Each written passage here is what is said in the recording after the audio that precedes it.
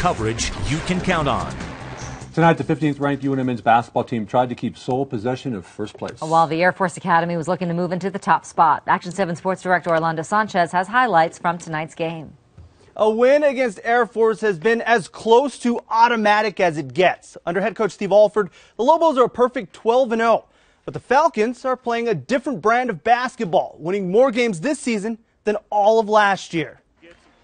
The 15th ranked Lobos were looking to close out the first half of Mountain West Conference play with just one loss.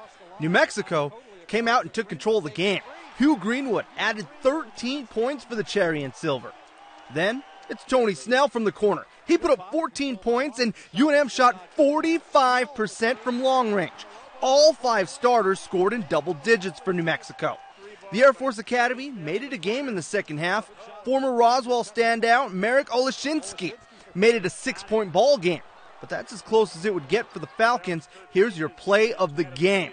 Kendall Williams with the deflection, and the Lobos are turning turnovers into points. From one big man to another, Cameron Bairstow finds Alex Kirk, and that's the two handed flush.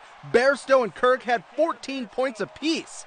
The Lobos improved to 20 and 3 overall, defeating Air Force 81 to 58. UNM is 7 and 1 in conference play, all alone in first place. I thought it was a really good performance by our guys and uh, very pleased. And um, to get to the midpoint, 7 and 1, first place all by ourselves, separating ourselves from a, a vast number of teams in the league, um, that, that, that says a lot about what our guys have done. This is the sixth straight 20 win season for Steve Alford and company. The Lobos will hit the road for their next two games, starting with UNLV on Saturday. The Rebels just lost to last place Fresno State by nine points.